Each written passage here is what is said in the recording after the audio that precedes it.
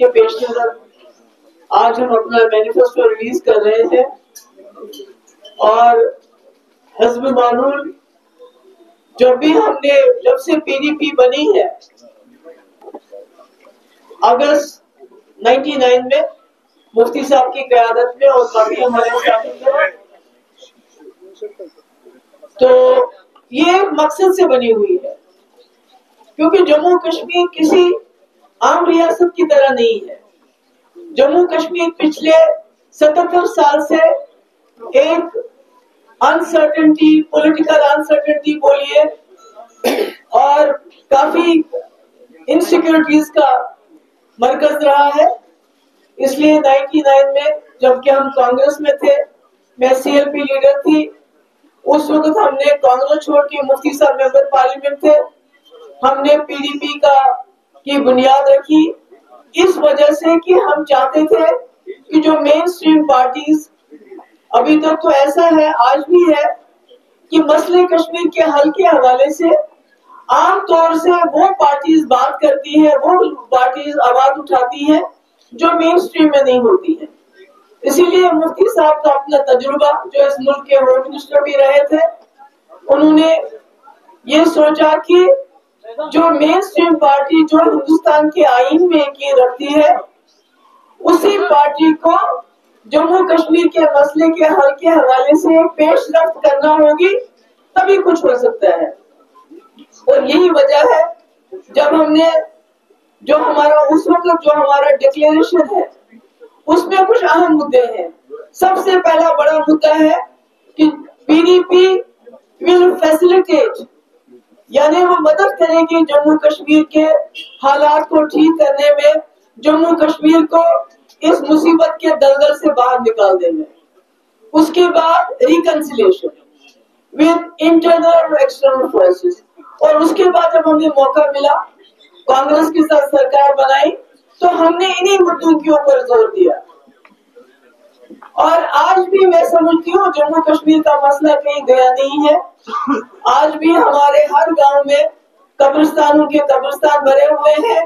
जम्मू में शमशान घाट जिसमें हमारे हिंदू लोग भी मारे गए हमारे कश्मीर के लोग भी मारे गए और मसले जो का तू है, बल्कि 370 खत्म करने के बाद मसला और ज़्यादा पेचीदा हो गया है। इसलिए मैं समझती हूँ कि बीजेपी ने चाहा कि मसले कश्मीर को 370 तक लाके, उसके बाद 370 के साथ स्टेट हो जाएगा तो मसले कश्मीर 370 को खत्म कर दे। अब मसले कश्मीर की बहस जो इस वक्त है, पहले तो थी इलेक्शन पे, अब सीट शेयरिंग है कि किसको कितनी सीटें मिलती है। मैं समझती हूँ, मसले कश्मीर बहुत पेचीदा मसला है। हमारे हज़ारों नौजवानों की शहादतें जिसमें हमारे मुल्क के जवान भी शामिल हैं, जो वर्दी पहन के यहाँ आके शहीद हो गए और हमारे अपने जम्मू कश्मीर के लोग हैं।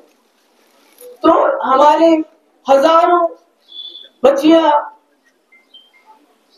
बेवा होगी बच्चे यतीम हो गए तो ये ज़िंदा मिसाल है, हो सकता है वो शहीद है, मगर वो जो हमारे कब्रिस्तान है, वो ज़िंदा मिसाल है कि मसले कश्मीर जो का तुम है और हाल ही में जो इलेक्शन हुए, उसमें भी खासकर नॉर्थ कश्मीर के लोगों ने दिखाया कि वो मसले कश्मीर को भूलने के लिए तैयार नहीं, जिस तरह उन्होंने एक शख्स जिसके ऊपर उन्हें इल्ज़ाम लगाया कि ये हुरियत पसंद है, ये सेपरेटिस्ट के साथ मिला हुआ है, ये टेरर फंडिंग में इन्वॉल्व हुआ है, उसको कामयाब बनाया, उसका मतलब है मसले कश्मीर है।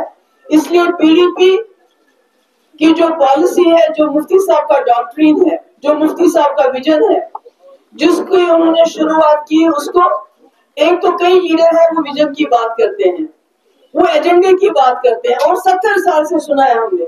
मगर मुफ्ती साहब वाहिद ऐसे लीडर हैं, जिन्होंने एजेंडे की बात की और उसको इम्प्लीमेंट करके दिखाया। चाहे वो वाजपेयी जी थे, चाहे डॉक्टर मनमोहन सिंह। डायलॉग हुआ, पाकिस्तान के साथ भी, यहाँ के सेपरेटिस्ट के साथ भी, रास्ते खुले रावला कोट भी और यहाँ से उड़ी भी। तो इसलिए उसी को हम आगे चलाना चाहते हैं। हम समझते हैं हमारा मानना है, जम्मू कश्मीर तीन सौ सत्तर का मामला नहीं है सिर्फ़। जम्मू कश्मीर स्टेटहुड का मामला नहीं है खाली। जम्मू कश्मीर इलेक्शन का मामला नहीं, न सीट शेयरिंग का मामला है, उसको कितनी सीटें और मुझे कितनी सीटें। हमारे लिए जम्मू कश्मीर एक ज़िंदा मसला है, एक इंसानी मसला है। जिसको, जैसे हमने पहले भी उसके लिए एक नक्शा दिया। मुफ्ती साहब के वक्त में बातचीत का रिकन्सिलेशन का, यहाँ भी, बाहर भी। मगर मैं कहती हूँ शुरुआत अपने घर से करनी चाहिए रिकन्सिलेशन की। क्योंकि जो यहाँ लोगों के ऊपर दबाव है, दोष है, उसको खत्म किया जाना चाहिए। तो इसलिए हमारा जो आज का ये मैनिफेस्टो है, उसमें रिकन्सिलेशन डायलॉग के साथ साथ जो एलओसी पे हमारा जो ट्रेड है ट्रेवल है, उसकी हम बात कर रहे हैं। शारदा पीठ की बात कर रहे हैं, जो हमारे कश्मीरी पंडित हमेशा बार बार कहते हैं, जो लाइन के उस पार है। ट्रेडिशनल रूट्स जो सेंट्रल और साउथ एशिया से हम उसके लिए स्ट्राइव करेंगे, जदोजहद करेंगे। और जो हमारे लोगों का यहाँ दम घुटता है पीएससी पीएसए यूएपीए और एनिमी एक्ट जिसके तहत आप किसी भी मजहबी रहनुमा को, किसी भी जर्नलिस्ट को, किसी भी पॉलिटिकल सोशल एक्टिविस्ट को आप अरेस्ट कर सकते हैं। ये जी मुल्क का दुश्मन है। उसको खत्म करने की बात करते हैं और जो हमारे काफ़ी लोगों को नौकरियों से निकाला गया है। हम उनके केसेस रिव्यू करने की बात कर रहे हैं। हाईवे पे जो हेरसमेंट होती है, उसको हम खत्म करने की बात करते हैं। और जो बातचीत पे फ्रीडम ऑफ़ एक्सप्रेशन जहाँ तक मीडिया का सवाल है, जो कदगन है, आप बात नहीं कर सकते कोई इस वक्त। आपको मेरे ख्याल में यहाँ से पहले वीडियो वहाँ दिखानी पड़ेगी सीआईडी डिपार्टमेंट में, आपने क्या रिकॉर्ड किया, क्या रिकॉर्ड क्या दिखाएँगे, क्या नहीं दिखाएँगे। तो इसके बारे में हम बात करना चाहते हैं कि ये खत्म होना चाहिए। हम ज़्यादा तो नहीं बोलेंगे कि हम, उन्होंने बोला 200 हम 300 नहीं। हम वही बोलते हैं कि 200 यूनिट इलेक्ट्रिसिटी हम फ्री देना चाहते हैं, जो 200 से ज़्यादा करेगा, उसका नहीं होगा वो। और जो वन टाइम सेटलमेंट जो पेंडिंग इलेक्ट्रिसिटी बिल्स होंगे वाटर में जो टैक्सेस को अबॉलिश करना चाहते हैं मीटर्स नहीं लगने चाहिए पानी के लिए। और जिन घरों में जो गरीब है बिलो पॉवर्टी लाइन है, जिनके घर में एक से छह लोग हैं, मुफ्ती मोहम्मद सईद साहब की स्कीम हम फिर इंट्रोड्यूस करना चाहते हैं, क्योंकि जो चावल मिलता है, राशन मिलता है, वो पूरा नहीं पड़ता है। इसीलिए बारह सिलेंडर जो गरीब लोग हैं, साल के उनको देखना चाहते हैं हम। स्टैम्प ड्यूटी जो मैंने अपने टाइम पे विमेंस के नाम पे जो प्रॉपर्टी खरीदी जाती थी उस पर मैंने स्टैम्प ड्यूटी खत्म की थी, जिसकी वजह से कई प्रॉपर्टीज़ औरतों के नाम पे लोगों ने खरीदना शुरू कर दिया था। अनफॉर्चुनेटली उस वक्त के गवर्नर साहब ने इसको खत्म किया, हम उसको वापस लाएँगे। और जो सोशल सिक्योरिटी है उसको हम डबल करेंगे, जो ओल्ड एज पेंशन है विडो पेंशन है, काफ़ी सारी चीज़ें हैं और जो हमारे रिसोर्सेस है। फ़र्स्ट राइट टू लोकल्स क्योंकि अब हम देखते हैं हर चीज़ पे लीज खत्म करो गुलमर्ग में, क्यों? बाहर के इंसान को लीज देनी है। होटल की लीज खत्म करो, क्योंकि अंडानी, अंबानी को लीज देनी है। तो इसलिए हम कहते हैं first right to locals in all government tenders mining contracts में लोकल्स को और जो हमारी लीज है होटलियर्स की, मकान वालों की, जिसको ये एकदम खत्म करना चाहते हैं, हम उसमें भी चाहते हैं कि जो लोकल्स है, उनको फ़र्स्ट प्रायोरिटी मिले। केसीसी लोन को हम वेव ऑफ़ करना चाहते हैं फार्मर्स के। मार्केट इंटरवेंशन स्कीम हम लागू करना चाहते हैं, जहाँ जो सेब खुद नीचे गिरता है, उसको सरकार खरीदे, वाजिब दाम पे। और मंडिया, जैसे कि आप जानते हैं हॉर्टिकल्चर में मुफ्ती साहब ने बहुत काम किया। टोल टैक्स माफ़ किया, मंडिया जगह जगह बनाई। जो हाइब्रिड स्कीम है, वो इंट्रोड्यूस की और हम हॉर्टिकल्चर में एक हम ये भी करना चाहते हैं कि जो बाहर से सेब आता है, उस पे हम हंड्रेड परसेंट इम्पोर्ट ड्यूटी लगाना चाहते हैं। ताकि कम से कम लोकली जो यहाँ हमारे लोग जो है, वो अपना लोकल सेब जो उनको सस्ता मिले बाहर के सेब के मुकाबले में। इतना सारा तो मैं नहीं पढ़ सकती, पर जो जो मुझसे हो सकता है यूथ एम्प्लॉयमेंट के बारे में। सबसे पहले तो जितनी भी हमारे यहाँ गवर्नमेंट जॉब्स अवेलेबल है वैकेंसीज अवेलेबल है, एक साल के अंदर हम उनको आइडेंटिफाई करेंगे और फास्ट ट्रैक रिक्रूट में उनकी भर्ती करेंगे और साफ़ शफाफ तरीके से।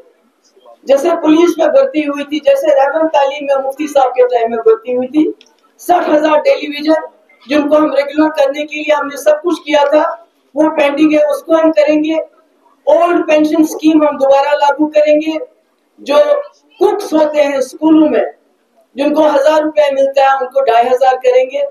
होम गार्ड्स की हम ऑनरेरियम बढ़ाएँगे रहबर तालीम टीचर्स की ट्रांसफ़र का हम पॉलिसी लाएँगे। Disturb area allowance Jammu Kashmir police को देने की बात है। रेगुलराइजेशन ऑफ़ एसपीओ और मिनिमम वेजेस एक्ट की बात है। और कॉन्ट्रेक्चुअल टीचर्स और यूनिवर्सिटीज में जो पढ़ाते हैं, उनका ऑनरेरियम बढ़ाने की सीआईसी ऑपरेटर्स को उनका तनख्वाह बढ़ाने की और रेबर खेल रेगुलराइजेशन की बात है। और उसके बाद पावर में transfer of hydro projects to Jammu and Kashmir इसके पहले भी हमने रखा है, इसको ये हमारे एजेंडे में है, कोई नई बात मैं नहीं कह रही हूँ। अगर वो हमें हाइड्रो प्रोजेक्ट नहीं दे सकते हैं तो हमें कंपनसेट करें। हमें उसके बदले बिजली दे ताकि हम अपने लोगों को सहूलियत दे सके।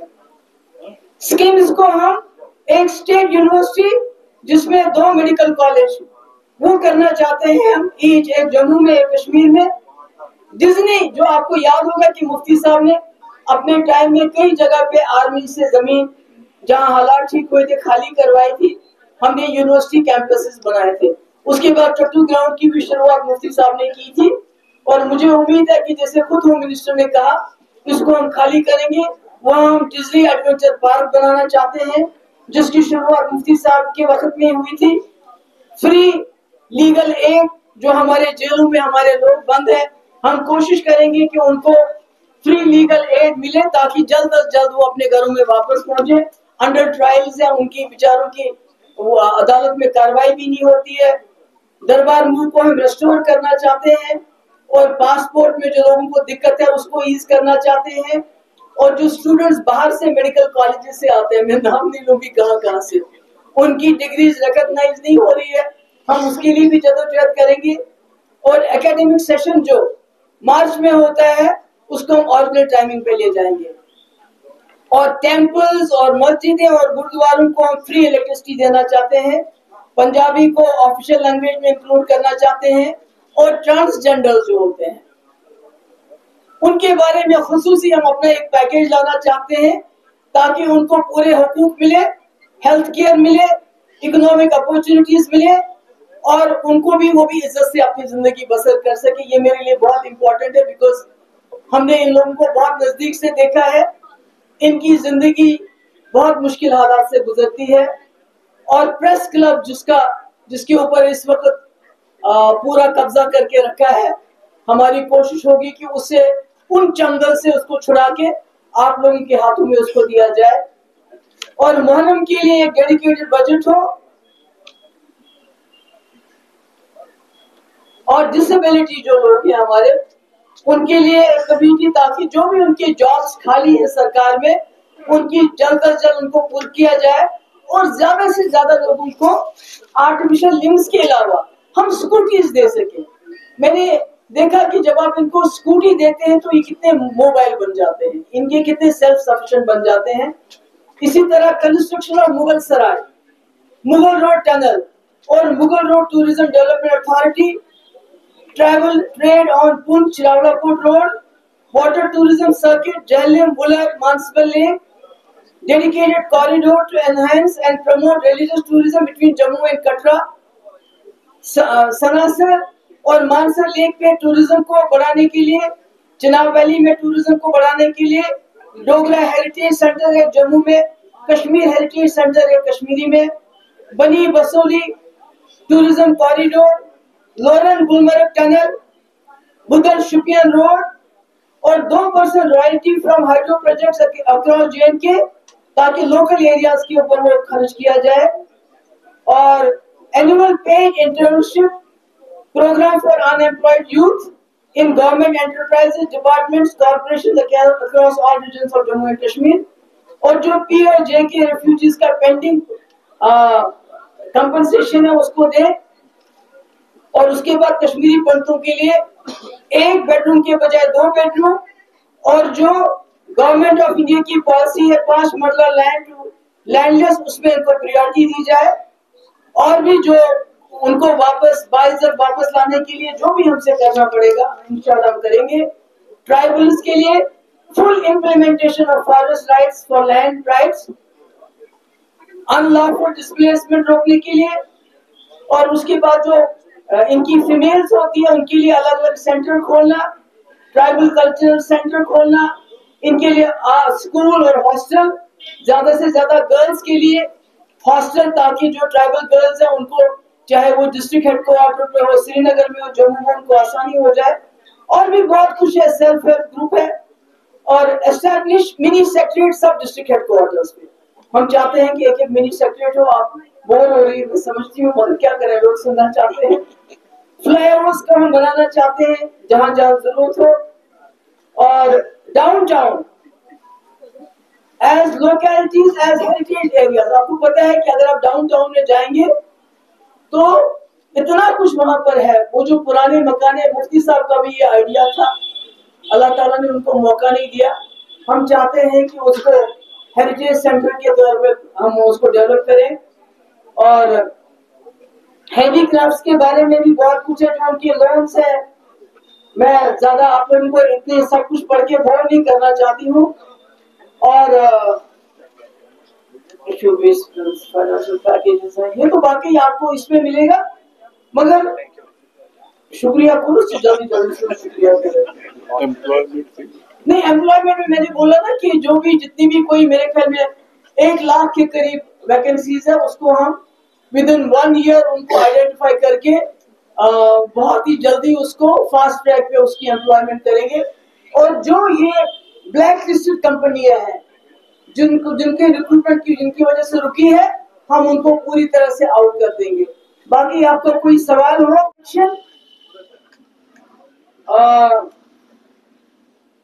खाली इसलिए नहीं है कि हम सरकार बनाना चाहते हैं पावर में आना चाहते हैं। पावर कभी हमारा गोल नहीं है, बल्कि हम चाहते हैं कि हम जो जम्मू कश्मीर का के जो मुश्किल है, जो मुद्दे हैं, जो मेन मुद्दा है उसमें अपना रोल अदा कर सके।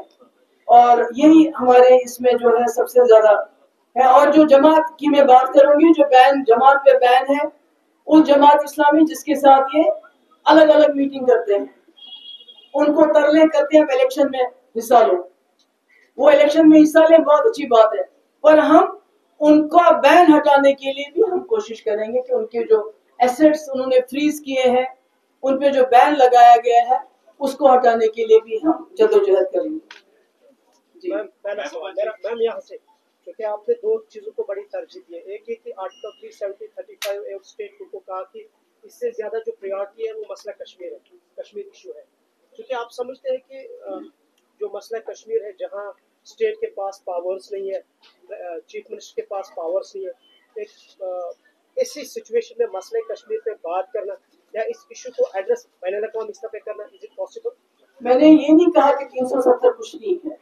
मैंने कहा 370 हटाने की वजह से मामला और कॉम्प्लिकेट हो गया 370 बहुत इंपॉर्टेंट है, क्योंकि जम्मू कश्मीर का जो मुल्क के साथ इलाक हुआ है, उसका पुल है 370 और उस पुल को हटाने की वजह से इन्होंने सिचुएशन को और कॉम्प्लिकेट किया है।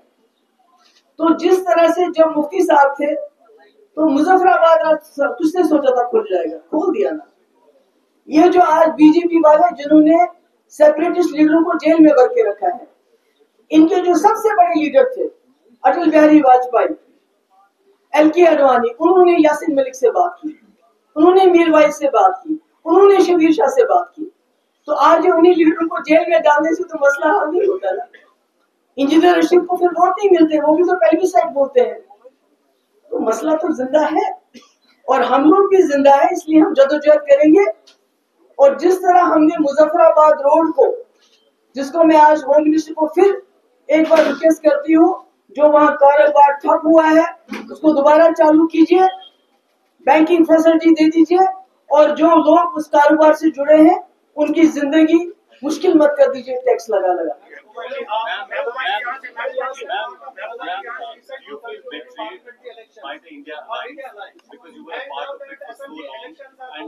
एक ही सवाल पूछो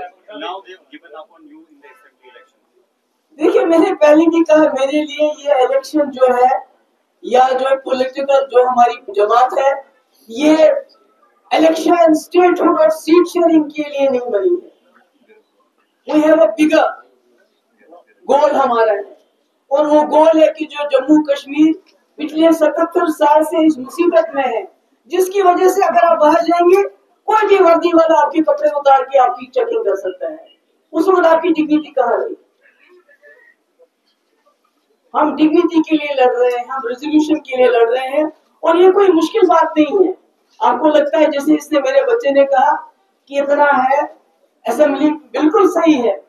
इन्होंने यहाँ के चीफ मिनिस्टर को म्यूनिसपैलिटी का चीफ मिनिस्टर बनाने की भी इज़्ज़त नहीं रखी। एक म्यूनिसपैलिटी में कन्वर्ट किया सबसे बड़ी पावरफुल असेंबली को। मगर जो ये हमें जगह देंगे, हम उसी में लड़ेंगे और लड़के जीत के दिखाएँगे इनसे। पाँच अगस्त 2019 के बाद आपकी वॉइस ये रही कि बीजेपी की पूरी ताकत आपकी पार्टी में तोड़ने में लगी बिल्कुल। वही लीडर वापस आ रहे कितने? बीजेपी बीजेपी के नहीं नहीं नहीं हमारे तो हम तो सबको नहीं ले रहे हैं। We are being very choosy about that अगर आपने देखा होगा तकरीबन 40 लीडर गए थे। और 40 के 40 वापस आना चाहते हैं। मगर we are being very selective जिन्होंने पीडीपी के एजेंडे के खिलाफ कभी बात नहीं की और जिनके हमारे अपने लोग जो वहाँ काम कर रहे हैं जो वो एग्री करते हैं उसके बाद हम लेते हैं बाकी यहाँ ओपन एंट्री किसी की नहीं है।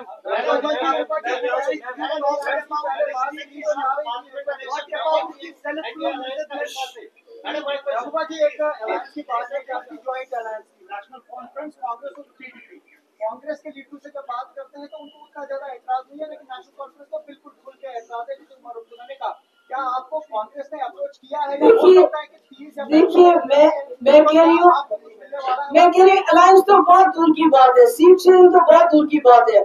अगर कांग्रेस, नेशनल कॉन्फ्रेंस हमारे एजेंडे को अपनाने के लिए तैयार है कि रेजोल्यूशन ऑफ़ कश्मीर ज़रूरी है टॉप प्रियरिटी है। रास्ते खोलना बाकी। हम बोलेंगे, उनको आप भी सारी सीटें लड़ो, हम आपके पीछे पे चलेंगे। बिकॉज़ मेरे लिए resolution of Kashmir problem is much more important than anything else Jammu Kashmir के लोगों की इज़्ज़त नफस जो इस वक्त रोंदा जा रहा है वो ज़्यादा ज़रूरी है ये सीट मुझे चार दो आप तीन दो ये मेरे लिए कोई माने नहीं रखती है। क्योंकि नेशनल देखिए एक बात मैं बताना चाहती हूँ।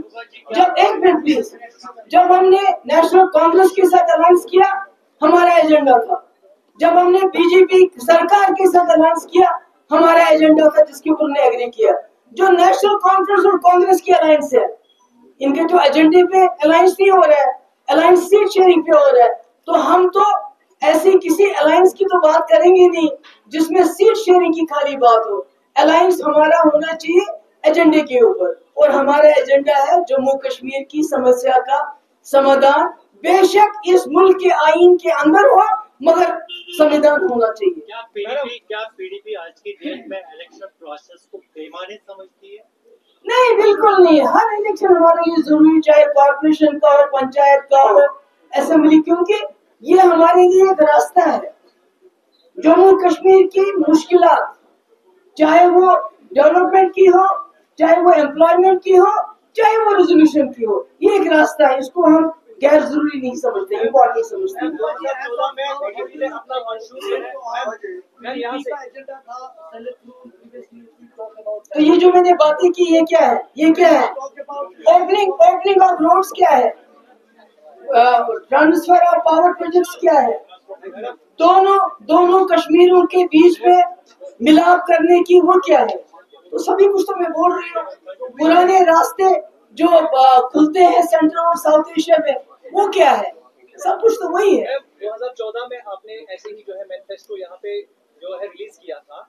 उसके बाद हमने देखा कि बीजेपी के साथ एजेंडा ऑफ़ अलायंस किया गया। क्या इस बार मैनिफेस्टो रिलीज़ हुआ है? क्या हम पोस्ट पोल ऐसे कोई एजेंडा ऑफ़ अलायंस बीजेपी के साथ आपका नहीं नहीं ऐसा कुछ नहीं। ऐसा कुछ नहीं है क्योंकि हमने बीजेपी सरकार के साथ हाथ मिलाए थे बीजेपी जमात के साथ नहीं और उनको ये शर्त थी कि आप 370 के साथ नहीं छेड़ेंगे। और जब तक सरकार रही उन्होंने नहीं छेड़ा। आज जो कि उन्होंने 370 को खत्म किया इसलिए अब अलायंस किसको किस चीज़ को बचाने के लिए करेंगे? तब तो हमने बचाने के लिए करी थी। तो ऐसा कोई सवाल पैदा नहीं